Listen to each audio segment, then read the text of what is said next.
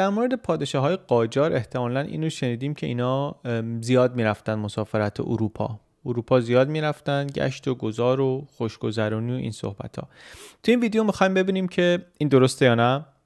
کی رفته اروپا کی رفته اروپا چند بار رفته کجا رفته چی کار کرده و کلا اثرش در, در, در اون دوره چی بوده؟ اثر مثبتش چی بوده و اثر منفیش چی بوده؟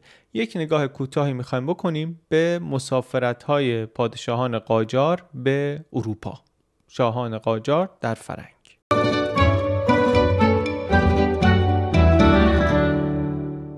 کجای تاریخیم؟ قرن 19 هستیم. قرن 19 که در ایران قرن قاجاری است. همه این قرن و یک کمی قبلش یک کمی بعدش در ایران قاجاری حکومت کردن. قرن 19 قرن مهمی هم هست که در تاریخ دنیا نقطه عطف شد. در چند قرن قبلش در دنیای اندیشه و بعد در صنعت در جامعه های غربی کشورهای غربی تغییرات بزرگی به وجود آمده بود. روشنگری و انقلاب علمی و انقلاب صنعتی و اینها نتیجه داده بود. و غربیات دنیا رو واقعا گرفته بودن پیشرفت کرده بودن جامعه های خودشون رو بهتر و برخوردارتر و امتر و سالمتر و پر و آبادتر و اینها می‌کردن.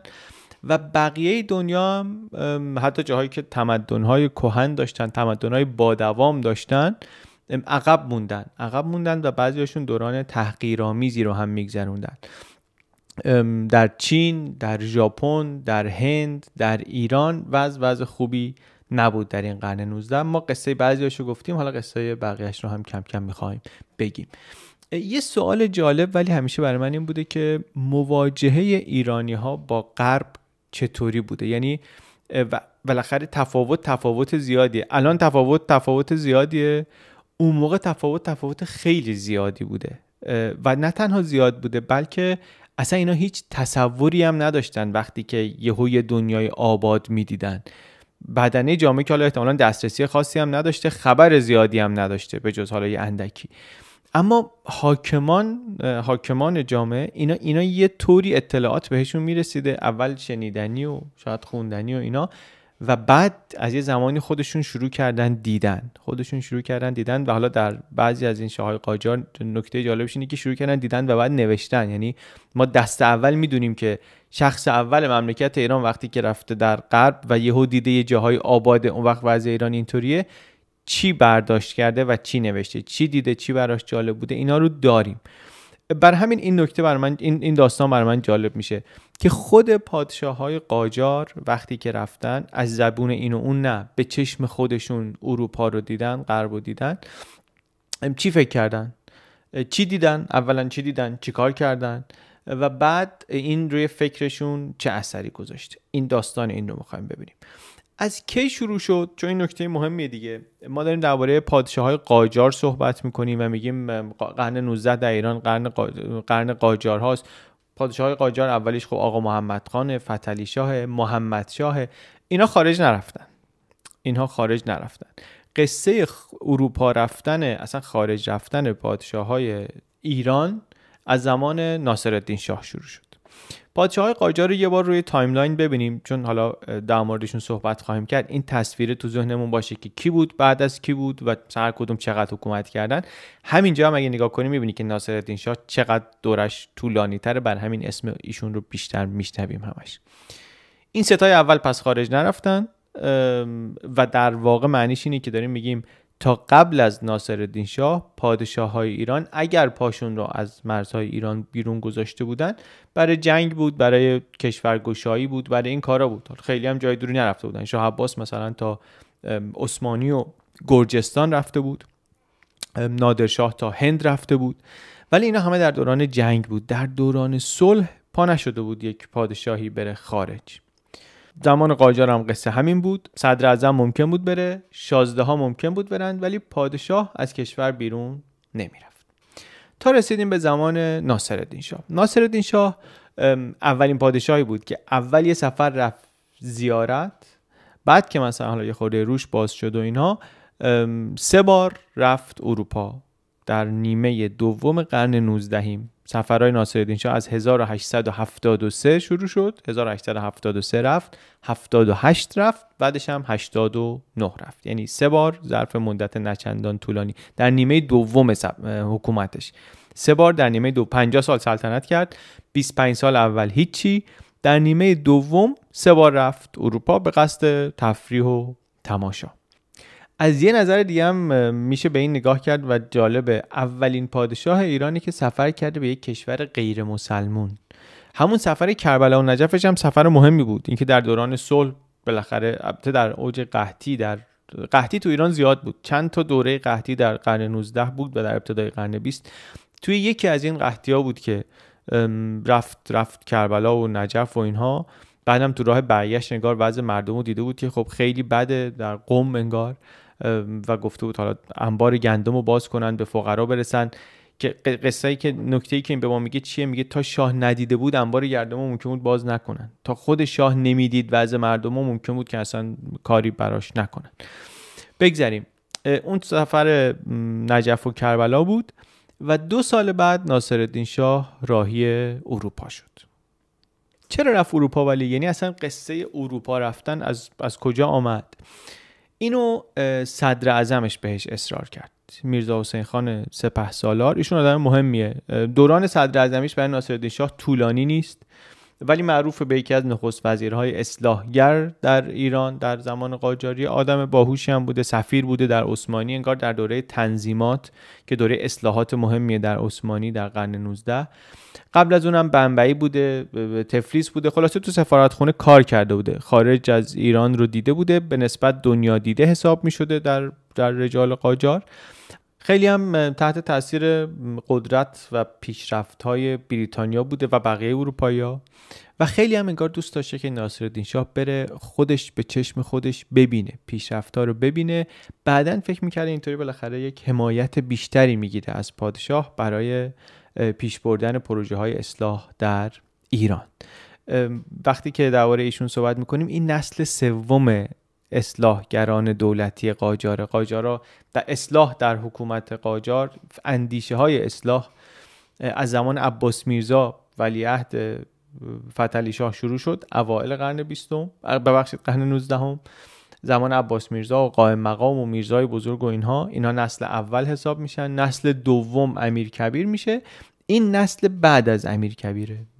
حالا درباره اینها ما بعدا جای دیگه صحبت می‌کنیم. اینجا چیزی که برای مهمه اینه که ایشون کسی بود که فکر رفتن به اروپا رو انداخت تو سر ناصرالدین شاه. تو همون سفر کربلا و نجف انگار هی زیر گوشش خوند خوند خوند تا اثر کرد. البته بالاخره سفر چیز سیاسی هم داشت دیگه. انگیزه های سیاسی هم داشت. می‌خواست بره ارتباط بهتری بگیره با قدرت های بزرگ با روس با انگلیس. بالاخره از نزدیک صحبت کنه از در دوستی شاید وارد بشه. فشار روی ایران خیلی زیاد بود اون موقع از طرف اینها. فشار رو شاید بتونه یه مقدار کم بکنه یه احساس بالاخره نزدیکی و برابری بیشتری بکنه وقتی که شاه با شاه صحبت می‌کنه. اهداف سیاسی هم داشت. حواسمون هم از توی قرن 19 هستیم. اوایل همین قرن 19 که ایران با روسیه درگیر میشه و قفقاز رو واگذار می‌کنه. تو همین قرن 19 که ایران با انگلیس درگیر میشه هرات رو واگذار می‌کنه. یعنی تو منگنه فشار امپراتوری قدرتمند هست. حالا ناصرالدین شاه می‌خواد که راه دیپلماسی رو هم در برابر اینها پیش بگیره. یکم اگه بازتر نگاه کنیم لنزمون رو باز کنیم می‌بینیم که اون موقعی که ناصرالدین شاه از سفر فرنگ می‌کنه این مدل سفرهای مقامات بلندپایه سیاسی شرق به غرب تازه باب شده بود رایج شده بود کم و بیش کم و بیش. چند سال قبلش سلطان عثمانی هم رفته بود فرنگ قبل از ناصرالدین شاه. برادر امپراتور ژاپن هم رفته بود فرنگ. یعنی اینا, اینا هم موقعیت ها نه که حالا بگم همه مثل همن ولی دردشون یکیه دیگه. دردشون اینا تا حد زیادی شبیه همه حداقل.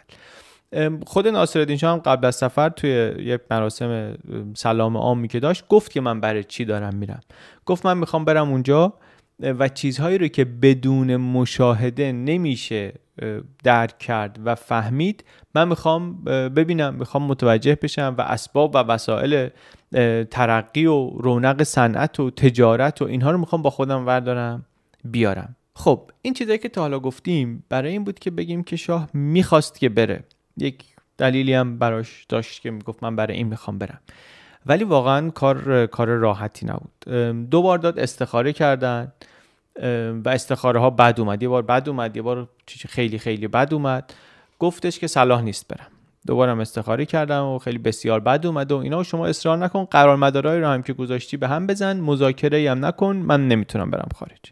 از این نظره که فکر بکنی شاید حقم داشت. به خاطر اینکه سفر یه روز دو روزه که نیست که می‌گفت من برم سر مملکت چی میاد؟ چند ماه پادشاه می‌خواد تو مملکت نباشه. فقط هم پادشاه نیست. خیلی از آدمای دولت رو هم داره با خودش می‌بره. دولت هم که دستگاه گنده حکومتی نیست که. یه, تعداد معدودی آدمن دیگه. اینا هم داره با خودش می‌بره. حتی خیلی از آدمای اطرافش و خیلی از آخوندا روحانیون اینا هم اهل امامه هم موافق نبودن با این سفر. می‌گفتن که شاه میره اونجا چیز میشه. غرب زده میشه. تحت تاثیر غربی ها قرار می‌گیره و بر ما گرفتاری میشه. ولی صدر اعظم خیلی اصرار می‌کنه. خیلی اصرار می‌کنه میگه شما برای خودت این سفر رو داری نمیری شما برای کل مملکت داری میری. اگر می‌خوای که ایران بره در زمره کشورهای متمدن باید این سفر رو بری. راه نجات مملکت اصلا در این سفره. برای اینکه راضی کنه ناصرالدین شاهو بهش گفتش که فایده سفر کردن شما به اروپا از فایده سفر نادر به هند برای ایران بیشتره. سفر نادر به هند می‌دونیم چه کرد دیگه؟ چی, چی آورد با خودش از هند؟ گفت این اگه شما بری اروپا از اون دستاوردش بیشتره توی مملکتی هم هستن که وضع خوبی نداره. قحطی مهلکی تمام شده تازه صدها هزار نفر رو کشته پشبندش وبا آمده اونم جون کلی آدم رو گرفته. واقعا البته میگم در دوران قاجار از این مصیبت ها کم در ایران اتفاق نیفتاده. قحطی و همهگیری و اینها. بالاخره بالاخره ناصرالدین شاه راضی میشه. دوران راضی میشه که خب آرزوی دوران بچگیش هم هست که دوست داشته که بره. آدم کنجکاوی هم بوده و بالاخره شرایط هم فراهم میشه. و ناصرالدین شاه راه میفته به سفر اروپا. وقتی که ناصرالدین شاه میگه من می‌خوام برم انیس و دوله همسرش هم میگه که منم می‌خوام بیام. یه خورده اصرار و انکار و اینها و نهایتا شاه قبول می‌کنه. شاه قبول می‌کنه همراه با انیس و دوله و یک لشکری از مقامات در 1873 یعنی 1252 ناصر شاه راه میفته به سمت اروپا. چطوری؟ هواپیما که طبیعتا در کار نیست. کل سفر زمینی و دریایی. خیلی هم طول کشید. یعنی طبیعی هم هست که خیلی طول می‌کشه. چهار هفته طول کشید. سفر نه دیگه. چهار هفته طول کشید تا برسن کجا؟ تا برسن لب دریای خزر. از این گردنه های مرتفع البرز رد بشن از مسیرهای صعب العبور برسن به شمال. به ساحل دریای خزر که از اونجا بتونن برن روسیه.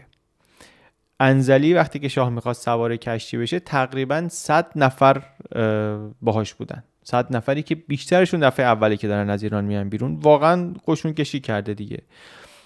بجز انیس دوله که گفتیم سوگلی درباره سه تا ندیمه دارن میرن صدر اعظم داره میره دوازده تا وزیر دارن میرن یه ژنرال داره میره نیروی نظامی باهاش میره پزشک میره مترجم میره قهوه چی باهاش میره که قلیونش رو چاق کنه.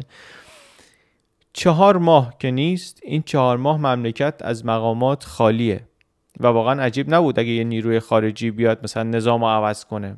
خیلی معلوم نیست کی می‌خواست جلوشو بگیره. ولی واقعا خب اوضاع جهان یه طوری بود که به هر کشوری درگیر گرفتاری های خودش بود و اون اطراف هم به نظر مثل کسی خیلی دل و دماغ کشورگوشایی حداقل تو اون موقعیت نداشته. بعدش هم دیگه اونایی که می‌خواستن کشورگوشایی کنن احتمالا خودشون میزبان ناصرالدین شاه بودن دیگه. خیلی خوبیت نداشت. یک دلیل دیگه هم البته شاید این باشه که کلا قدرت شاه از اونی که ما فکر می‌کنیم کمتر بود و اهمیتش کمتر بود چون حاکمای محلی مثلا قدرتشون بیشتر بود. این هم این هم یک احتمالیه که ممکنه به خاطر این باشه که مثلا من اشتباه فکر می‌کنم که شاه انقدر قدرت داشته و انقدر مهم بوده. بگذریم. برسیم به اینجایی که شاه و همراهاش سوار کشتی شدن از بندر انزلی را افتادن به بندر آستراخان روسیه. بعد از اونجا با یه قایق بزرگی از رودخانه به سمت روسیه رفتن و رفتن. بعد دیگه یه جایی سوار قطار شدن. اولین باریه که ناصرالدین شاه سوار قطار میشه. اولین باریه که اینا ریل راه هم می‌بینن. خیلی تحت تاثیر قرار می‌گیرن. میرن با قطار تا مسکو. چند روزی مسکو هستن. از اونجا با قطار میرن سن پترزبورگ. تزار روسیه رو می‌بینن. خانواده سلطنتی رو می‌بینن. برنامه های مختلفی اونجا براشون دیدن. می‌بینن و واقعا به وجد میان. از رژه نظامی تا مجلس رقص تئاتر جاهای دیدنی این ور اونور میبرنش و واقعا برای شاه ایران و به که باهاش هستن بسیار بسیار جالبه. ما اینا رو می‌دونیم بخش زیادیش رو به خاطر اینکه خاطرات سفرش رو نوشته. یعنی شاه دیکته می‌کرد یه منشی داشت مینوشت. و یه چیز دیگه هم که می‌دونیم و خیلی جالب اینه که انیس و دوله بود که گفتیم که با شاه آمده بود. بود طبیعتا همراهش بود خیلی هم خوشش آمده بود اینطوری که آقای عباس امانت تعریف می‌کنه. ولی توی یه مهمونی که تزار روسیه قرار بود بده به, به مناسبت حضور ناصرالدین شاه همسر تزار گفت که همسر تزار به تزار گفت تزار به شاه گفت که خانوم لطفا بدون روبنده بیان توی این مراسم دیگه خیلی جایی نداره. همراهان شاه ایران این حرف رو که شنیدن قاطی کردن. یعنی قاطی کردن که بیشتر نگران این بودن که اگر این خبر ایران برسه به آخوندا اینا رو بیچاره می‌کنن. که او همسر شاه روبنده برداشت و اینا گرفتاری میشه برای ما. چیکار کنیم چیکار نکنیم؟ عقلاشون رو می‌ذارن رو هم میگن بهترین کار اینه که انیس و دوله رو برگردونیم ایران که اصلا نباشه وقت این مهمونی. نهایتا هم همین کارو می‌کنن. همین کارو می‌کنن برش میگردونن. ایشون هم خب ناراحت بوده از اینکه داره برمیگرده با ناراحتی برمیگرده. اصلا بعضیا میگن همین شد که وقتی برگشت رفت پیش آخوندا و هی به اینا گفت از اینکه این سفر چه مذراتی داره و این چه خطراتی داره و این حرفا که وقتی که از سفر برگشتن جو آماده بود که میرزا حسین خان سپهسالار رو از کار برکنار کنن. میگن این این نقش این ناراحتیش نقش داشت. خلاصه انیس و دوله برگشت ولی خب ناصرالدین شاه سفر رو ادامه داد. سفر بسیار مفصلی هم هست. روی نقشه می‌بینیم که کجاها کجاها رفت. بریتانیا رفت بلژیک رفت فرانسه رفت سوئیس رفت اتریش رفت ایتالیا رفت عثمانی رفت. خیلی جاها رفت. خیلی جاها رفت. لندن رفت. دید جمعیت زیاد تعجب کرد. ریل تراموا دید تعجب کرد. ماشین چمنزنی دید تعجب کرد. کالسکه بچه دید جا خورد. چراغ گازی دید. خیابونا رو روشن می‌کنه. دید مردم رو لباساشون مثلا سنگ های قیمتی دارن. هم واقعا تعجب کردن هم خب تحسین کردن. و همین که اینطوری بود که ناصر وقتی داشت برمیگشت انگار یه مقدار ناراحت بود. اینطوری که ملکه در ملکه انگلیس در یاد داشته روزانش نوشته نوشته که موقع خدافزی غمگین به نظر می رسید بگذاریم چهار ماه این سفر طول کشید. قیصر آلمان رو دید. امپراتور آلمان رو دید تو اون سفر. آلمان تازه اون موقع کشور شده به ابتکار بیسمارک. خود بیسمارک رو دید با بیسمارک صحبت کرد. یک خاطره ای درباره این نقل قولی درباره این دیدار هست که حالا نمی‌دونم چقدر درسته چقدر نه. همینی که می‌بینین اینجا روی تصویر. لئوپولد رو دید پاد... لئوپولد دوم پادشاه بلژیک رو دید. خلاصه آدم های مهمی رو در سفر دید جاهای مهمی رو در این سفر از نزدیک دید. و دستاورد سفر چی بود؟ سفر سختی بود. سفر سختی بود سفری بود با ریسک زیاد سفری بود با هزینه خیلی زیاد برای خزانه خالی ایران. برای چی بود سفر؟ یادمون نره دیگه. برای این بود سپه سالار می‌خواست که این سفر رو شاه بره که ذهنش برای اصلاحات آماده بشه برای ترقی برای آباد کردن کشور آماده بشه تحت تاثیر قرار بگیره. عباس امانت میگه که زواهر امر خیلی تحت تاثیر قرار دادن پادشاه رو.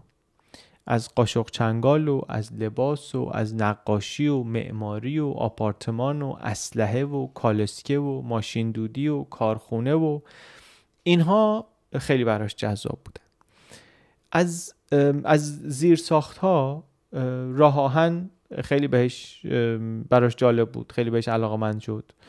و البته اونم در حد علاقه موند کاری براش نکرد. یادمون باشه این ناصرالدین شاهیه که تازه شاه نشده دیگه. میگم 25 سال شاه شده. امیر کبیر رو دیده. یعنی یه دوره اصلاحات کوتاه و نافرجامی رو از سر گذرونده. میرزا آخان نوری رو داشته. حالا دوباره حوس اصلاح کرده. شاه با تجربه هم هست. ولی مشاهداتش در حد این چیزاست. و بعد از اینم که برمیگرده از فرنگ کارایی که می‌کنه اینه که مثلا زیر نظر روس ها یک نیروی نظامی منظمی دستور میده که درست کنن. نیروی نظامی منظم زیر نظر روس ها به نام قزاق ها کازاک ها بریگاد قزاق. بریگاد قزاق اون موقع درست میشه و تا مدت ها واقعا همین بریگاد کوچیک وفادار به روسیه یا تحت فرمان افسران روسی مؤثرترین نیروی نظامی در شمال ایران حداقل. دو تا از فرمانده ها و افسرهای اینجا بعدا در تاریخ ایران خیلی مهم میشن. ما وقتی که تاریخ جلو جلوتر بخونیم به اسمشون برمیخوریم. یکیشون لیاخوفه که مجلس شورای ملی رو به توپ میبنده. و یکیشون هم که رضا شاه. این دو نفر هر دو از این بریگاد قزاق میان که نیروی نظامیه که به کمک روزها در شمال ایران درست شد و بنیانش بعد از سفر اول ناصرالدین شاه گذاشته شد. نتیجه دیگه چی؟ مثلا اولین باغ وحش تهران هم بعد از این سفر درست شد. شاه دیده بود در اروپا خوشش اومده بود داد در دوشان تپه یه جایی درست کردن به نام مجمع الوحوش ناصری. درست کردن و اینطوری ایران هم صاحب باغ وحش شد. در نظام آموزشی انگار تغییراتی دادن زبان روسی اضافه شد زبان فرانسوی اضافه شد اتاریات داروخانه شد. دستور ساخت اولین آپارتمان ایران که همون شمس عباره باشه اونجا داده شد. یعنی بعد از این سفر داده شد. احتمالا متأثر از همین سفر. و حالا آخر ویدیو میگم یه درباره حمایت پادشاه از هنر. اون چیزایی که دید در سفر اروپا هم ناصرالدین شاه هم بعدا مظفرالدین شاه اینا اینا مهم بود. در شکل دهی به سلیقه هنری ایرانی یا شاید بشه اینطوری گفت در رونق در معرفی تئاتر به ایران و بعد رونق گرفتنش. می‌رفت پادشاه طبقه پنجم شمس اماره مردم تماشا می‌کرد طلوع خورشید تماشا می‌کرد. دستاوردهای این سفر رو وقتی خلاصه دنبالش بریم به اینجور چیزهایی می‌رسیم.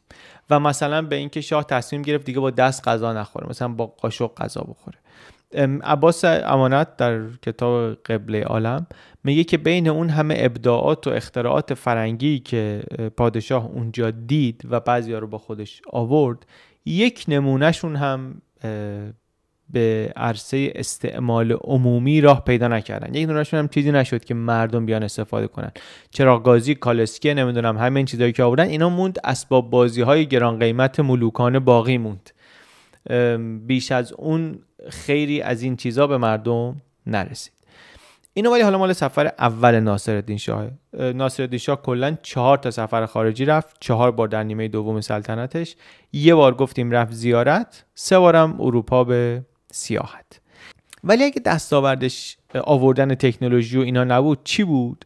به نظر می‌رسه دستاوردش در زمینه پی آر در زمینه روابط عمومی بوده.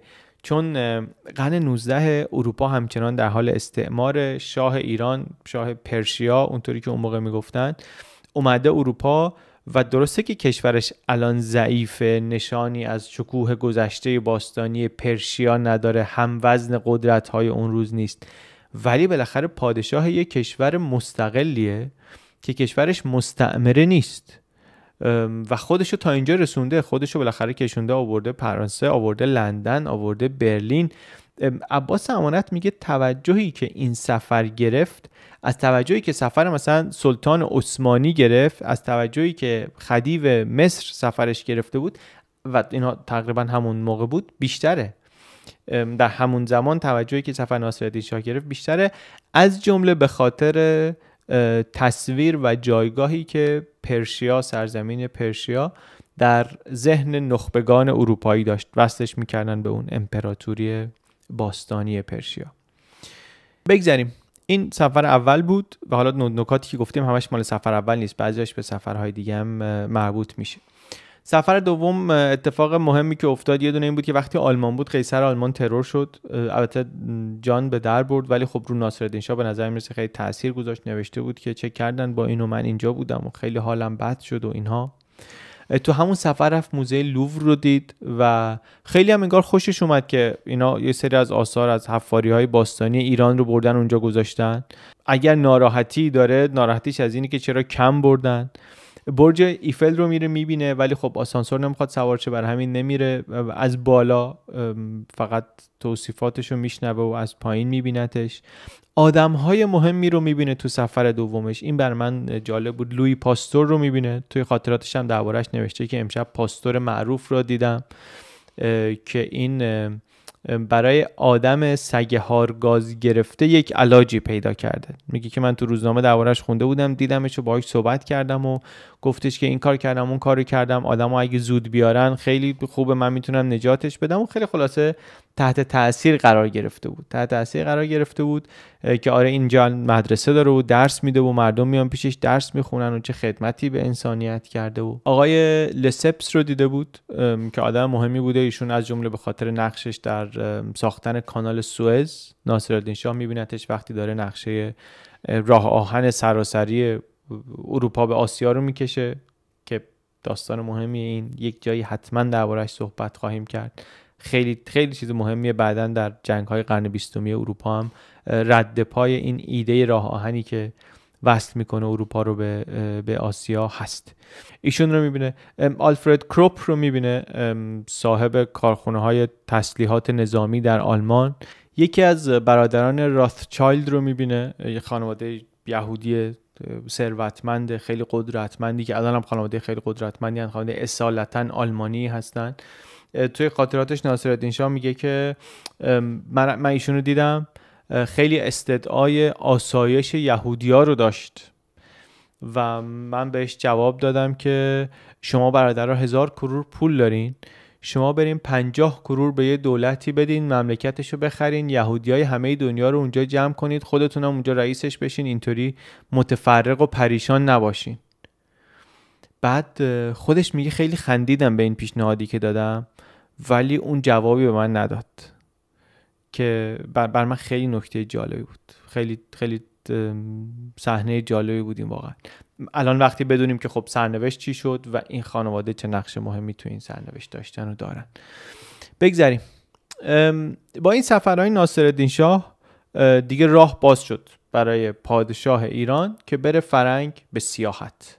بعد از ناصر شاه هم دیگه پادشاه های قاجار دستشون به سفر باز بود. اول پسرش مزفر شاه بود. مزفر شاه خب خیلی طولانی ولیعهد بود. در دوران ولیعهدی هم از تبریز فکر می‌کنم بیرون اصلا نرفته بود. وقتی که شاه شد ولی افتاد به جبران کردن. از همون اول به مسافرت رفتن فکر می‌کرد. چهار سال بعد از اینکه پادشاه شد رفت سفر اولش. اگر خزانه خالی نبود شاید زودتر می‌رفت. خیلی دوست داشت بره. خیلی براش مهم بود که بره. توی منابع میگن اصلا صدر اعظماش رو با این معیار به هوای این انتخاب می‌کرد که هزینه مسافرتش به, به اروپا رو تأمین کنن. از رو این صدر اعظم پیدا می‌کرد. سر همین هم شاید امین و سلطان که صدر اعظمش شد تونست یک وامی از روسیه بگیره و پادشاه باش بره مسافرت. چطوری وام گرفت؟ وسیقه گذاشت. چی رو وسیقه گذاشت؟ آیدات گمرک مملکت رو وسیقه گذاشت. وسیقه گذاشت وام گرفت پادشاه راهی اروپا شد. پادشاه برای چی میره سفر وقتی وضع مملکت اینه؟ توجیهش این بود که یک بخشی از توجیهش این بود که برای مقاصد درمانی. نقرس و درد مفاصل و روماتیسم و آب گرم چشمه های آلپ معجزه می‌کنه و از این صحبت ها چند وقت هفت ماه. هفت ماه. نه پادشاه در کشور بود نه صدر اعظم نه خیلی از وزرا. رفته بودن اروپا. رفت روسیه اتریش سوئیس آلمان بلژیک فرانسه عثمانی. انگلیس هم می‌خواست بره. ملکه ویکتوریا مرده بود. دربار انگلیس برنامه های سوگواری و اینا داشت سفر قطع شد. چیز شد کنسل شد. توی توی پاریس ترورش هم می‌خواستن بکنن منتها ترور موفقیت آمیز نبود. این سفر برنامهش وقتی که نگاه می‌کنی چون می‌تونیم بفهمیم که چه کردن تو این سفر بیشتر خوشگذرانی بود دیگه. بیشتر خوشگذرانی بود. بعد از این سفر هم بود که قرارداد دارسی رو بست. که اصلا بعضی میگن یه انگیزش هم این بود که دوباره پولی بتونه بگیره که بره به سفر. داستان دارسی رو هم که توی این ویدیو خیلی مفصل تر تعریف کردیم. نکته جالب اینه که توی این سفرها سفرنامه نوشته. هر شب مزفردین شاه دیکته کرده و نوشته. حالا اونی که می نویسه وزیر مملکت مثلا داره خاطراتشو می نویسه ولی به هر حال و ما می‌تونیم بخونیم. مشاهدات دست اول نفر اول مملکت رو می‌تونیم بخونیم. واکنش مهمش هم حیرته. واکنش مهمش واقعا تعجب خیلی زیاده و حیرت تا یه جایی که اینطوری می نویسه دیگه. میگه که اصلا آدم میمونه که واقعا چطوریه که اینا هم آدمن این طرف دنیا اینطوری کردن. مثلا اون طرف دنیا هم این همین آدمی زاده ولی اون طرف دنیا یه طور دیگه است و اینقدر مثلا فاصله هست. مشاهدهش یه همچین یه همچین وایبی میده یه همچین چیز حسی به آدم میده. توی همین سفر مدرسه دخترونه میره می‌بینه پارلمان میره می‌بینه اینا مهمه احتمالا رو ذهنیتش تاثیر می‌ذاره. حالا آخر ویدیو میگم چرا فکر می‌کنم مهمه. و البته خب خیلی خرید می‌کنه خیلی تفریح می‌کنه و بعد برمیگرده. برمیگرده دو سال میمونه بعد دوباره با میشه میره اروپا. میره اروپا دوباره دیگه من جزئیات اون سفرشو نمیگم کمابیش مثل همون اولی است. میره باز دوباره میچرخه این ور برو اون ور برو گشت و گذار و خرید و تفریح و اینا. برمیگرده ایران باز دو سال میمونه ایران دوباره پا میشه میره اروپا. سه بار یعنی مظفرالدین شاه میره اروپا دفعه سوم صد روزه میره. بازم یک بانکی می‌گیره یک وامی می‌گیره این بار از یک بانک انگلیسی این بار به بهانه باز مداوا و البته آشنایی با پیشرفت های کشورهای اروپایی و این حرفا. یک سری امتیازهایی در شمال به روسا میده و پولی رو می‌گیره و میره مسافرت. این بار 6 ماه. 6 ماه میره. اتریش، آلمان، بلژیک، فرانسه، انگلستان، ایتالیا. این هم سفر پرهزینه این هم سفریه که بارش روی خزانه خالی مملکت بار سنگینیه. و البته دست خالی بر نمیگرده. سوقاتی میاره. سوقاتی میاره. چند تا تلفن میاره. دوربین میاره. دستگاه ضبط صوت میاره دستگاه گرامافون میاره دستگاه بستنی ساز میاره از اینجور چیزا. سفرها هم اینطوری بود انگار که مثلا روسیه و آلمان و انگلیس که می‌رفتن وزن کار و جلسه دیپلماتیک و کارخونه بازدید کن و ارتش ببین و اینها یه خورده توش بیشتر بوده در روسیه و آلمان و انگلیس. اتریش و فرانسه که می‌رفتن دیگه بیشتر صفا بوده. باله و اپرا و آتیشبازی و رقص و پارتی و مهمونی و این این صحبت ها یه چیز جالبی هم که من توی این مقاله خوندم خیلی به نظرم نکته درستی بود. این بود که ما هیچ گزارش رسمی از, از دربار ایران نداریم درباره این سفرها. گزارش های رسمی, رسمی میزبان ها هست که چه کردن کجا رفتن کی رفتن برنامه چی بوده. از این ور ما یادداشت‌های شخصی شاهو داریم که حالا بعضی وقتا هست بعضی وقتا نیست. ولی بالاخره نفر اول مملکت با این همه هزینه رفته سفر یه گزارشی در دستگاه دولتی ایران اینطوری که توی مقاله می‌گفت نیست که ما بتونیم بخونیم بفهمیم که خب این روز چه کار کردن دنبال چی بودن. حالا اگه دنبال چیز خاصی هستن بودن. ولی خب تو هایی که در وین و در بوداپست هست شما می‌تونی ببینی برنامه موزیکی که جلوی مظفرالدین شاه اجرا کردن رو می‌تونی ببینی چی بوده برنامهش. برنامهش که رو کاغذ نوشتن کاغذش هست. موقع ساندیدن سربازا کجا آرایش گرفته بودن اون روز جلوی مظفرالدین شاه الان سندش هست. سر میز شام کی کجا نشسته بود؟ هست. همین الان تو آرشیو می‌تونی بری ببینی عکساش توی همین مقاله منبع ما. هست تو همین سفر هم بود مظفرالدین شاه که در ایران نارضایتی از نارضایتی های مردم بالا گرفته بود وقتی که برگشت صدر اعظم رو مجبور شد عوض کنه. صدر اعظم جدیدی گذاشته بود مثلا که خرج سفر سومش رو تعیین تأمین کنه. ایشون هم نتونست وام بگیره نه از روسا تونست وام بگیره این دفعه نه از انگلیسا تونست وام بگیره. اواید گمرک رو زیاد کرده بودن. فشار روی گمرک رو زیاد کرده بودن.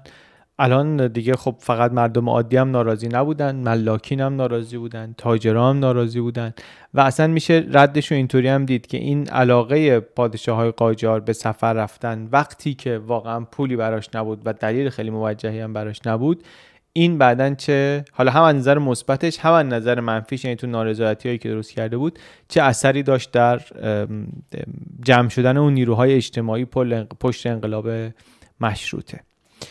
وقتی درباره سفر صحبت می‌کنیم یه دستاورد دستاورد که نه یک یک اثر غیر مستقیمی هم اینها داشته روی هنر.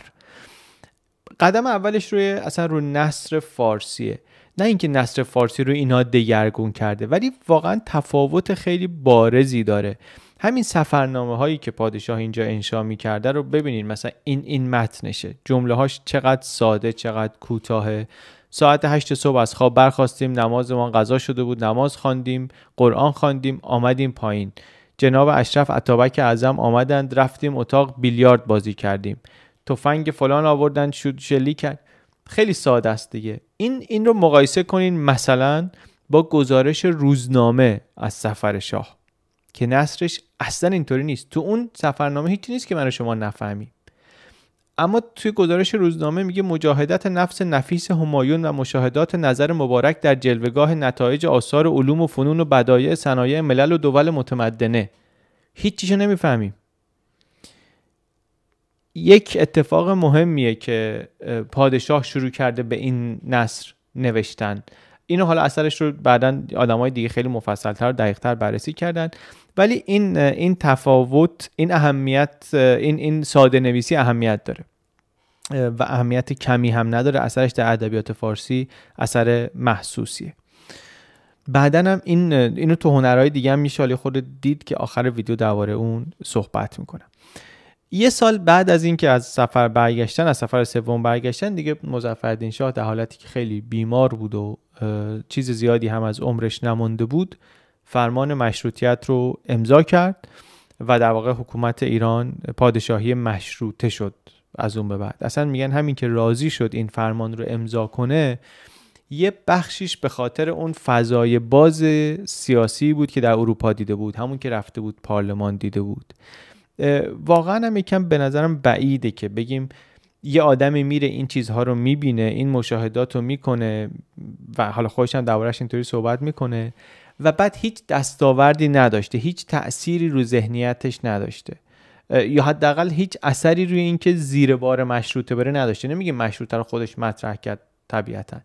ولی بالاخره زیر بار مشروطه رفت نه که بدون مقاومت ولی بدون مقاومت خیلی زیاد. معمولا پادشاه ها انقدر راحت اختیارات خودشون رو از دست نمیدن. خیلی خیلی آشنا نیست این حرکت. شاید این هم روش نقش داشته. شاید. شاید. مظفرالدین شاه بعد از مشروطه زیاد زنده نموند. حکومت رسید بعدش به محمد علی شاه که ایشون هم خود دو سال بیشتر نبود و دیگه به خارج رفتن و اینا نرسید. بعد پسرش احمد شاه به سلطنت رسید. دوازده سالش بود پادشاه شد. خب خیلی جوان بود بچه بود در واقع. مسافرت خارج هم طبیعتا اون موقع نرفت نرفت نرفت تا ده یازده سال بعد در تابستان 1919 ایشون تونست بره اروپا. 1919 این دیگه وارد قرن بیستم شدیم. 1919 چه چه دوره جنگ جهانی اول؟ دو ساله که تمام شده. ایران یه بار اشغال شده از اشغال در آمده هنوز زیر فشار زیر فشار شدیده. مخصوصا بعد از انقلاب اکتبر روسا رفتن الان فقط فشار از طرف انگلیس ها هست فشار بیشتر از طرف انگلیس ها هست 1919 19 19 اسم قرارداد وسوق الدوله است دیگه. قراردادی که انگلیس ها می‌خواستن با ایران ببندن. و وسوق الدوله دوست داشت توی این سفر اروپا پایه های این قرارداد رو بتونه محکم کنه. امضای احمد شاه بیاد زیر این قرارداد. قرارداد 1919 که توی ویدیوی نفت دربارش صحبت کردیم. مثل هند نمی‌شد ایران مستعمره بشه ولی میگن که خیلی هم متفاوت نبود. حالا وارد بحث اونش اینجا نمیشیم. در شرایطی هم رفت احمد این مسافرت رو که حالا هم مخالفت های داخلی با این قرارداد بود هم مخالفت های خارجی بود. مثل ناصر شاه و مظفر شاه ایشون هم از انزلی رفت مثل ناصر شاه و مظفر شاه ایشون هم سه بار رفت اروپا و دفعه سومش دیگه آخرین پادشاهی از قاجار شد که از ایران آمده بیرون و دیگه برنگشت. دیگه برنگشت همون خارج از ایران بود که ازل شد از پادشاهی. می‌خواست رضا شاه رو رضا خان رو از صدر اعظمی ازلش کنه.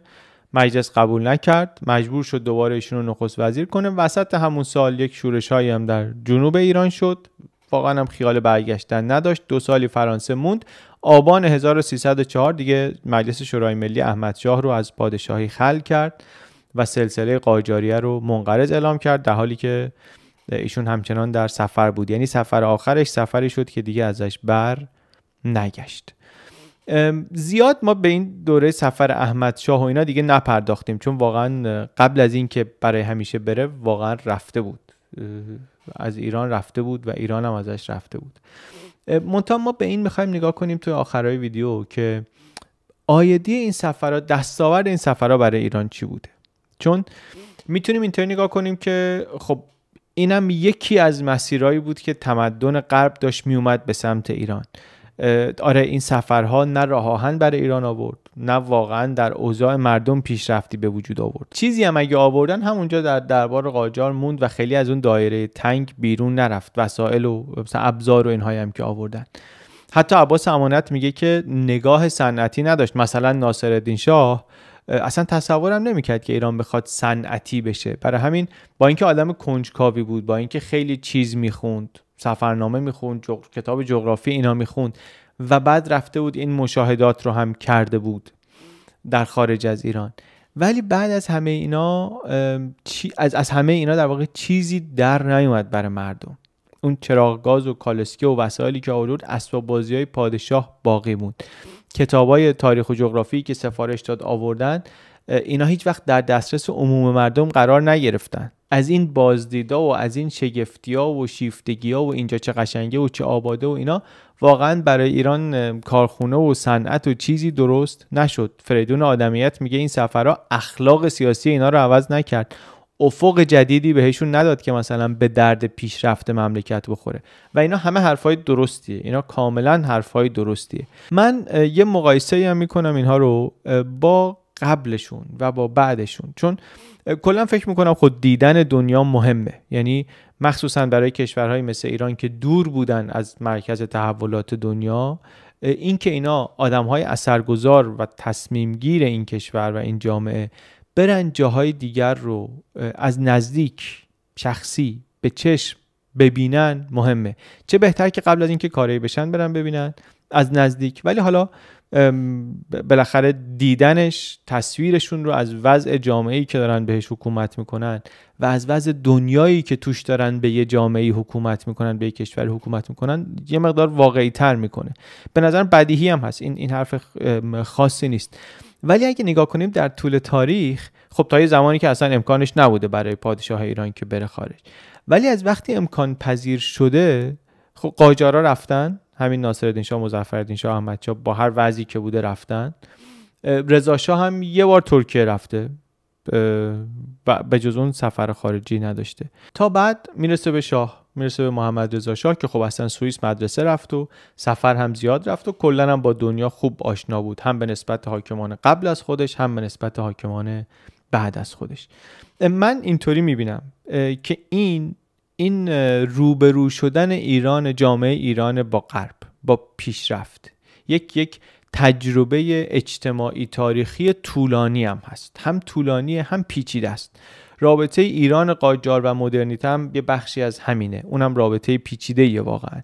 این سفرهای اروپایی پادشاه های قاجار هم یک تیکه مهمی از این پازله. همه قصه نیست ولی یه بخش مهمی از قصه است. و بهتره که فکر می‌کنم بهتره که تصویر کاریکاتوری بهش نداشته باشیم که آره رفتن پارتی کردن وام گرفتن رفتن همشو سوزوندن مثلا رقصیدن یا رقص نگاه کردن برگشتن. یکم دقیق تر که ببینیم اولا همه هزینه هاشو می‌بینیم. همه هزینه هاشو می‌بینیم که بیشتر از اون پولی که وام مثلا می‌گرفتن. و بعدم همه دستاورداشو می‌بینیم. درسته که وقتی ناصرالدین شاه یا مظفرالدین شاه می‌رفتن خارج مثلا خب خیلی می‌رفتن تئاتر رو اینها می‌دیدن. ولی همین هم بود که باعث شد اولین دوربین عکاسی بیاد ایران. اولین دوربین فیلم برداری بیاد ایران.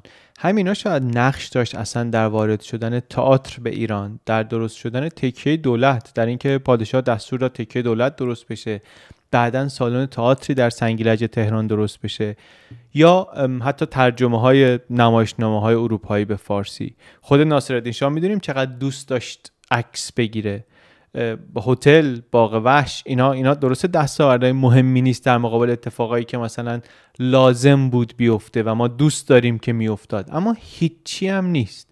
اینا هم نتایج سفر ناصرالدین شاهه.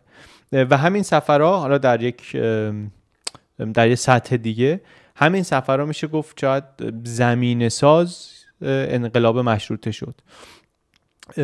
هم از نظر اینکه ذهن ذهن خود پادشاه را آماده تر کرد ذهن حاکم را آماده تر کرد و هم شاید اونطوری که گفتیم به خاطر اینکه خود نارضایتی هم در مردم ایجاد کرد و خلاصه اتفاقات مهمیه این سفرها در مسیر تجدد در ایران. ناصرالدین شاه یه بار که از سفر فرنگ برگشت گفتش که بیان قانون بنویسین برای ایران. حالا کسی جرئت نداشت بهش بگی که ما قانون بنویسیم اولین کسی که مشکل پیدا می‌کنه خودتی. ولی چه قانون میاد دست پای شما رو میبنده. ولی همین تغییر ذهنیت همین که پادشاه اومده بود که آره بیاین قانون بنویسید من اروپا رو دیدم پیشرفته است. اینجا هم قانون بنویسیم که پیشرفته بشیم. به نظر می‌رسه اینا هم یه دستاوردهایی که ندیدهشون نباید بگیریم.